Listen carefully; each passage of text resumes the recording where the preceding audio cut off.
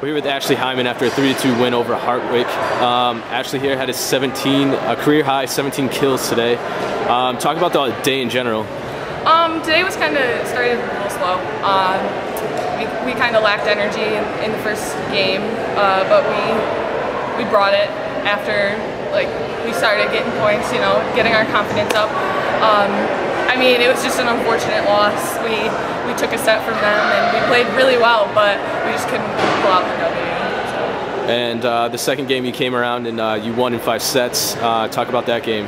It was very nerve wracking. we played very well. Um, it was kind of, I don't know, it was good for our team morale. Like, we played well as a team, I believe. Um, we just need to, you know, stay together and, and keep pulling each other up, and we play fantastic when that happens. So. Now, a career high 17 kills. Talk about your just offensive performance out there. I mean, I, I kind of just went with it. um, it felt good. I was just on today, I guess. Um, Sammy's sets were perfect, and she worked really hard. The passing was, was really good, so can't complain.